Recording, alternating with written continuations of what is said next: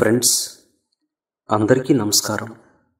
Venu pyramid master అన్న మన YouTube ఛానల్ను ఎంతోమందికి చేరవేస్తూ ఎంతో జ్ఞానాన్ని పంచుతున్నటువంటి ప్రతి ఒక్కరికి నా హృదయపూర్వక కృతజ్ఞతలు మిత్రులారు.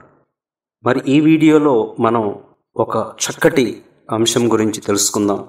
మన నిజ జీవితంలో మన నిత్య జీవితంలో మనం వినేటువంటి రెండు మాటలు వీటిని మనం ఆధ్యాత్మికంగా తీసుకున్నట్లయితే దీని వెనకాల ఉన్నటువంటి ఆ పరమార్థాన్ని మనం గ్రహిస్తాం మిత్రులారు. ఈ రెండు మాటల యొక్క పరమార్థాన్ని మనం ఇప్పుడు తెలుసుకుందాం. అసలు కొసరు. ఈ అసలు కొసరు అనేటువంటి పదాలను మనము వింటూనే ఉంటాం మిత్రులారు.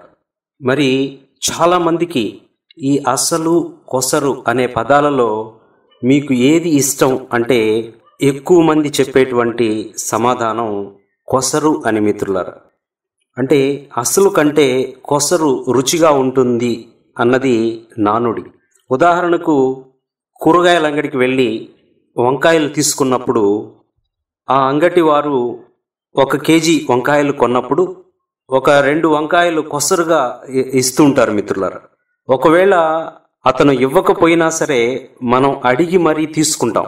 ఎందుకంటే అసలు కంటే కొసరు రుచిగా ఉంటుంది అన్నది చాలామంది యొక్క నమ్మకం.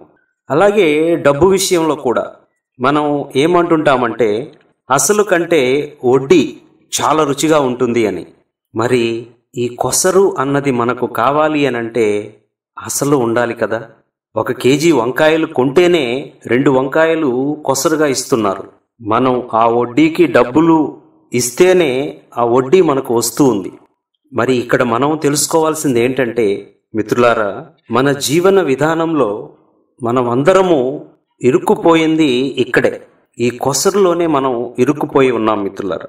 ఏవైతే ఈ ప్రాపంచిక విషయాలు ఉన్నాయో అవన్నీ కూడా కొసరుతో సమానమే. ఆధ్యాత్మికత అనేది అసలు అయితే ప్రాపంచికత అనేది కొసరు. ఆధ్యాత్మిక జీవితం సరిగ్గా ఉంటేనే మన ప్రాపంచిక జీవితం అద్భుతంగా ఉంటుంది. అసలు వల్లనే ఆ కొసరు అన్నది వచ్చింది మిత్రులారా. మరి ఆధ్యాత్మికత లేని వాడికి ప్రాపంచికత ఎలా ఉంటుంది అంటే గందరగోళంగా ఉంటుంది. ఈ ప్రాపంచికతే ముఖ్యం అనుకునే వారికి జీవితం సుఖదుఖాలలో రెండిటితో కలిసి ఉంటుంది మిత్రులారా. ఎందుకంటే వారికి ఆధ్యాత్మికత సత్యము వీటి గురించి తెలియదు. అదే ఆధ్యాత్మికతతో కూడినటువంటి ప్రాపంచిక జీవితం చాలా వైభోగంగా ఉంటుంది. మరి ఈ కొసరుతో మనము అద్భుతంగా ఆనందంగా జీవించాలి అని అంటే అస్సలు తప్పక ఉండాలి మిత్రులారా. మరి మీరు ఈ కొసరుతో అద్భుతంగా ఆనందంగా జీవించాలి అని అంటే అసలు ఉండాలి. ఆధ్యాత్మికత అనే అసలు లేని వారికి ప్రాపంచికత అనే కొసరు కొన్ని రోజులు దుఃఖము కొన్ని రోజులు సుఖము ఇలా ఉంటుంది. కుటుంబ సభ్యులు మనతో బాగున్నప్పుడు సంతోషంగా ఉంటాం. అదే వాళ్ళు సరిగా లేనప్పుడు దుఃఖపడతాం. ఎందుకంటే మనకు సత్యం తెలియదు కాబట్టి. నిరంతరం ఆనందంగా ఉండే స్థితి తెలియదు కాబట్టి. ఎందుకంటే అది ఒక ఆధ్యాత్మికతలోనే ఉంది కాబట్టి మిత్రులారా. అందుకే మన గురువు గారైనటువంటి పత్రిజీ గారు ఒక మాట చెప్తుంటారు. Spirituality is the root physicality is the fruit అంటారు ఆయన. ఆధ్యాత్మికత వేరు అయితే ప్రాపంచికత పండు లాంటిది. మరి ఈ వేరు అనేది లేకపోతే పండు లేదు మిత్రులారా. అందుకనే మనము ఈ అసలును వదిలేసి కొసరును పట్టుకుంటున్నాం. ఈ కొసరు అనేటువంటి మాయలో పడి దుఃఖంలో జీవిస్తున్నాం మిత్రులారా. అలాగే మన శరీరాన్ని తీసుకున్నట్లయితే మనకు కనిపించేటువంటి శరీరం కూడా కొసరే. ఇది అసలు కాదు. అసలు ఏంటి అని అంటే ఈ శరీరాన్ని ధరించి ఉన్న ఆత్మ. ఇక్కడ మనం గుర్తుంచుకోవాల్సిన విషయం ఏంటంటే అసలు అన్నటువంటి ఆత్మ లేకపోతే కొసరు అన్నటువంటి ఈ శరీరము దేనికి ఉపయోగపడదు? ఈ ఆత్మ ఉన్నంత వరకే ఈ శరీరం యొక్క నాటకం సాగుతుంది మిత్రులరా. కానీ మనం ఏం చేస్తున్నామంటే అసలుని వదిలిపెట్టి ఈ కొసరుని పట్టుకుని ఊగులాడుతున్నాం. ఈ శరీరమే సత్యము అన్నటువంటి భ్రమలో మనము జీవిస్తూ ఉన్నాం. ఈ శరీరంతో ఏవైతే మనము సుఖాలను తీసుకుంటున్నామో వాటినే సత్యం అన్నటువంటి భ్రమలో మనం ఉన్నాం మిత్రులారా. మనము ముఖ్యంగా అసలును పట్టుకోవాలి. ఈ అసలుకు మనం ఎంత దగ్గరవుతామో అప్పుడు కొసరు అంత రుచిగా ఉంటుంది. ఈ కొసరు అన్నది ఒక మాయ ఒక నాటకం. ఈ కొసరు అన్నది ముఖ్యం అనుకునే వారికి జీవితం సుఖం దుఃఖం బాధ భయం ఆరోగ్యం అనారోగ్యం ఈ రెండింటితో మిళితమై ఉంటుంది మిత్రులారు. ఎవరైతే నేను ఆత్మని అని తెలుసుకుని జీవిస్తారో వారి జీవితం ఎప్పుడూ ఒకటిగానే ఉంటుంది. ఈ ఆత్మ స్థితిలో జీవించే వారికి ఎప్పుడు అన్నిట ఆనందమే ఉంటుంది మిత్రులారా. కాబట్టి మనం దేనిని పట్టుకోవాలి అని అంటే శరీరానికి ఆధారమైన ఆత్మని పట్టుకోవాలి. ఇప్పటి వరకు మనము ఆత్మని వదిలేశాం దాన్ని గురించి పట్టించుకోలేదు. ఈ శరీరమే నేను అన్నటువంటి భ్రమలో మన జీవితాన్ని గడిపేశాం మరి ఇప్పుడు ఆత్మ సత్యము అన్నటువంటి అంశాన్ని మనం తెలుసుకున్నాం. మరి ఈ ఆత్మను పట్టుకోవాలంటే మనకున్నటువంటి ఏకైక దారి ఏకైక మార్గము ఏకైక సాధనము ధ్యానము తప్ప వేరేది లేదు మిత్రులారు. అన్యదా శరణం నాస్. మనం బయట ఎక్కడ తిరగాలన్నా డబ్బు సంపాదించాలన్నా శరీరం కావాలి. కానీ ఈ బయట ఏదైతే దొరుకుతుందో అదంతా కొసరు. బయట ఎక్కడ కూడా మనకు అసలు దొరకదు మిత్రులారు. మరి అసలు దొరకాలి అని అంటే అది ఉన్న చోటికి మనం వెళ్ళాలి. మరి అది ఎక్కడుంది అని అంటే అది మన లోపల ఉంది మన అంతరంగంలో ఉంది. ఉదాహరణకు ఒక విగ్రహం ఉంది అనుకోండి. ఆ విగ్రహాన్ని మనము దేవుడు అనుకుంటున్నాం. అదే దాని పక్కన ఇంకొక రాయి ఉందనుకోండి. దానిని దేవుడు అని మనము అనుకోవడం లేదు. ఎందుకంటే ఆ రాయికి రూపం ఏర్పరిచి ప్రాణప్రతిష్ఠ చేసి శక్తిని ఇచ్చి ఆ గుడిలో దాన్ని పెట్టారు కాబట్టి దాన్ని మనం దేవుడు అంటున్నాము. మరి ఇంకొక రాయికి రూపం ఏర్పరిచినప్పటికీ దాన్ని బయట అలానే పెట్టారు కాబట్టి దాన్ని మనము దేవుడు అని అనట్లేదు మిత్రులారా. దానిని దేవుడు అని ఎందుకు అనడం లేదు అని అంటే ఆ రాయికి ఇచ్చినటువంటి రూపానికి కూడా విలువ లేదు. ఎందుకంటే దానికి ప్రాణ ప్రతిష్ట లేదు. దాని లోపల శక్తి లేదు. అదే ఆ గుడి లోపల ఉన్నటువంటి రాతికి రూపాన్ని ఇచ్చి ప్రాణ ప్రతిష్ట చేసి దానిలో శక్తిని నింపాక దానికి మనం అభిషేకాలు పూజలు అన్నీ చేస్తున్నాం మిత్రులారా. ఆ విగ్రహానికి ఏది ఆధారభూతమైందో దానిని పట్టుకోవాలి మనం. అంటే విగ్రహంలో ఉన్నటువంటి శక్తి మనకు తెలియడం వల్ల ఆ విగ్రహానికి మనం పూజలు చేస్తున్నాం. కాబట్టి మనం విగ్రహంలో ఉన్నటువంటి శక్తి అనేటువంటి అసలుని మనం పట్టుకోవాలి. బయట ఉన్న కొసరును కాదు. ఎప్పుడైతే మనము అసలు అనేటువంటి భగవంతుణ్ణి పట్టుకుంటామో ఇక మన జీవితం ఆనందంగా సాగుతుంది. మరి మిత్రులారా ఇక్కడ మనం ఒక విషయం గుర్తుంచుకోవాలి. కొసరు వద్దు అనంటే ఈ శరీరం వద్దు అని కాదు. నేను ఈ శరీరం మాత్రమే కాదు అనే స్పృహ మనకు ఉండాలి మిత్రులారా.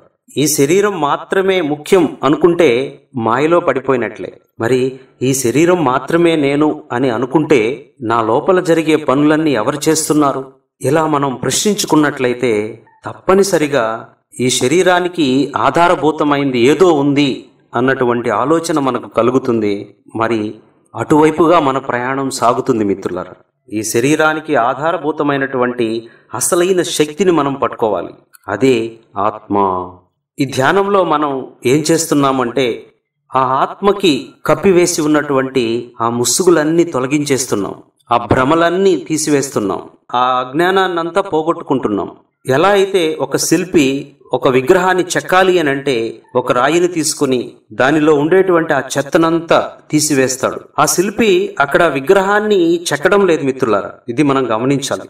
ఆ రాయిలో ఆల్రెడీ విగ్రహం ఉంది అక్కడ. ఆ విగ్రహాన్ని ఆ శిల్పి దర్శించాడు కాబట్టి ఆ రాయిని ఎన్నుకున్నాడు. మరి ఇక్కడ ఆ శిల్పి చేస్తున్నటువంటి పని ఏంటంటే ఆ విగ్రహము కానటువంటి పదార్థాన్ని తొలగిస్తున్నాడు. ఎప్పుడైతే ఆ విగ్రహము కానటువంటి ఆ రూపము కానటువంటి ఆ పదార్థాన్ని అంతా తొలగిస్తూ వచ్చాడో అప్పుడు అక్కడ ఒక చక్కటి రూపము ఏర్పడింది మిత్రులారా. అలాగే మనము కూడా ఈ అనాత్మ అయినటువంటి ఈ పదార్థాన్నంతా మనము తొలగించుకుంటూ వెళ్ళిన నాడు మనం మనకు ఆ యథార్థం అన్నది దర్శనమవుతుంది. ఆ యథార్థాన్ని మనం దర్శించగలం.